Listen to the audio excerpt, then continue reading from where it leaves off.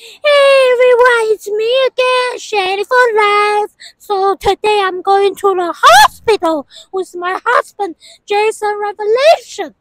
So I hope the driver this time is Oh, a nice please, guy. Let me help you into the taxi. Oh, I, I want the. Thank you. Oh my goodness. What's Oh, the Uh, matter? uh, ma'am, no, no, I, I- see you closely now. Uh, you are too big. I, I- No, I, I, I. I, cannot let you into the Your taxi. car is an SUV. Yes, it's an SUV, but I cannot let you into the taxi. No, no, you're, you're too big. You, I, I have up. Too big. Yes, yes, you will not Are you body shaming me? No, no, I'm not body shaming. Okay, ma'am, I'll be honest. You smell too bad. I cannot let you in my car. You smell terrible. I, am sorry. I, I, I cannot, I cannot do it. You are body shaming me. No, ma'am, I, ma'am, I'll be very serious. I am shit shaming you, okay? Ma'am, you smell like. Look, look. Did you take a shit in your pants? What? So what? I'm taking a shit in my pants. I'm wearing diaper.